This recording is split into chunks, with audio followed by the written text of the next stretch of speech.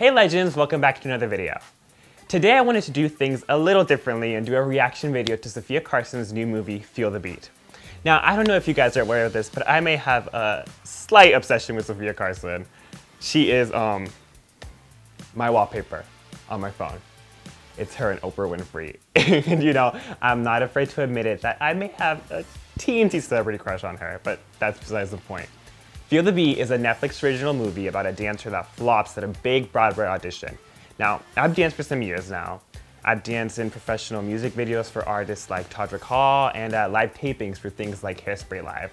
So I wanted to put this movie to the test and see how accurate it was to what real dancing is like. And let's be real here, I wanted an excuse to watch Sofia Carson for an hour and a half. Fire, fire, woo, okay, so here's Sofia, or April as she's called in the movie, is practicing at the bar.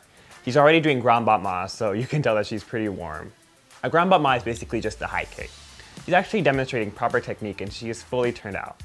And another thing that's pretty funny is that she's using a PVC pipe for a bar. I personally use PVC for a bar many times. I know a lot of dancers that have as well. It's a great alternative if you don't have a wooden one ready.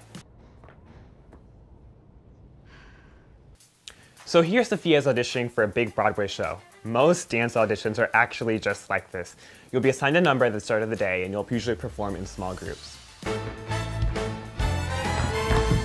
Yeah, so for that leg hold turn, I'm fairly certain that it is a stunt double and not actually Sofia, which is not at all like her fault. Leg hold turns are some of the hardest turns to master, and especially such clean ones like the ones I'm inserted here. I know people who have danced their whole lives and still can't get more than a single leg hold turn. Actually, let me take a look again. Yeah, those are phenomenal. Great job to this dancer.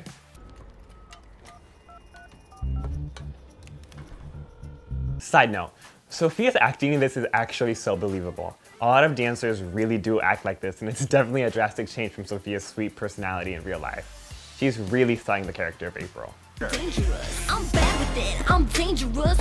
Again, I'm pretty sure it's not Sofia doing this backflip. I mean, hey, if it is, then more power to her, and I would be so impressed.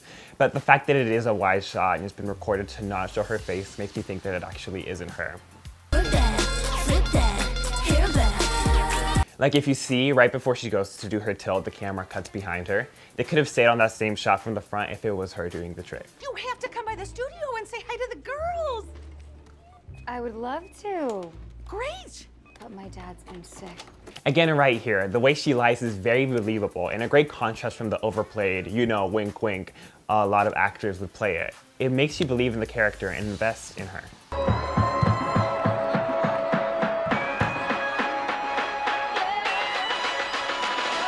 Let me tell y'all, this is so accurate. At every dance competition, we will find an absurd amount of routines where a little girls shake their booties and the judges eat it up every time. Even I have shaken my booty for many routines, all of which have taken first place.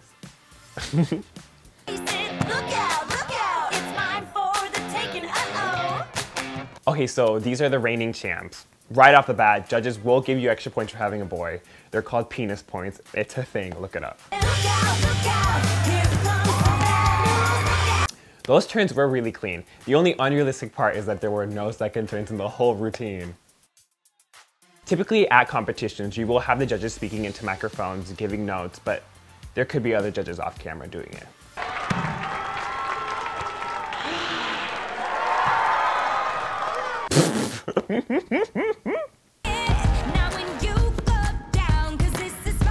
this is what I'm talking about. No talking. Oh yeah. Drop and give me 20 push-ups. Now. Dance teachers will make you do push-ups or other physical activity as punishment because it hurts and it will make you stronger. Also, April says they have two weeks to get ready for comp. Two weeks is enough time to learn a dance, but definitely not to perfect it, especially if you have to work on technique.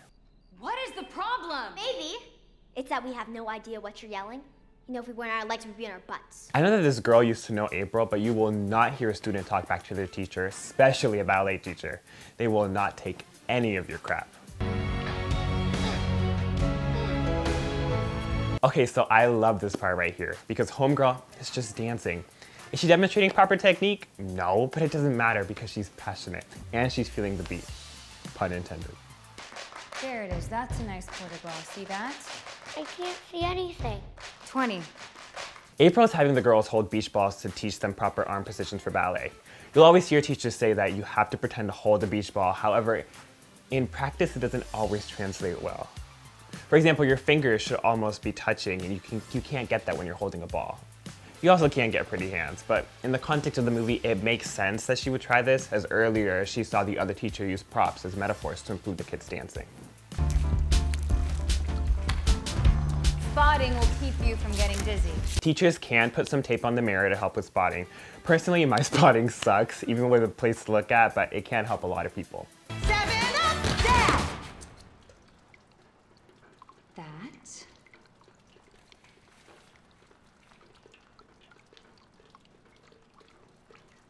Didn't suck.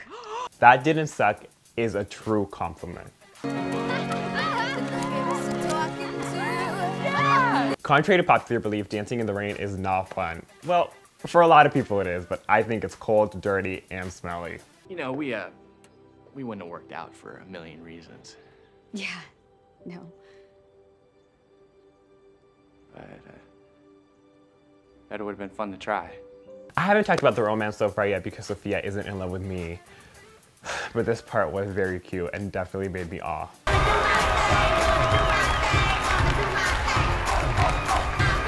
As adorable as this is, it would not work at a real competition.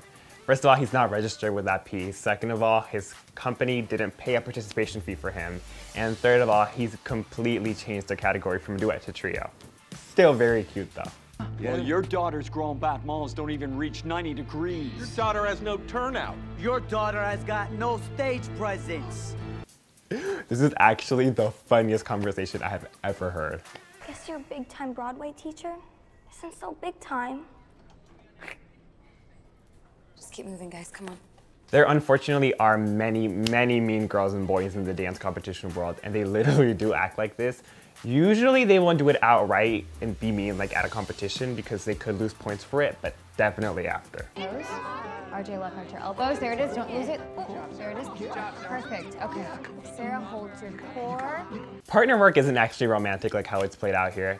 It is actually very hard and requires a lot of focus from both parties, but it could just be because I am a terrible partner dancer. Like that number of people I've dropped, unjustifiable. Even though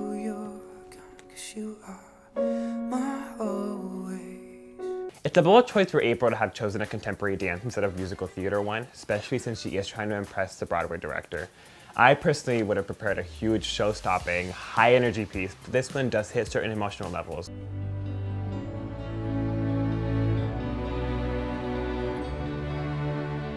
It is very upsetting that Sofia Carson isn't kissing me in this scene. Wow, okay, I actually really enjoyed this movie. I will say I am very biased because as I said earlier, I am a huge fan of Sofia Carson.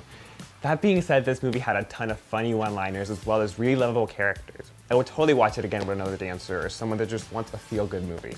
If you watched this movie, leave a comment telling me what your favorite dance scene was and why. And if you like this video, be sure to drop a like and subscribe. If you like me, you can follow me on Instagram at Marco J. Gochez. See you later, legends.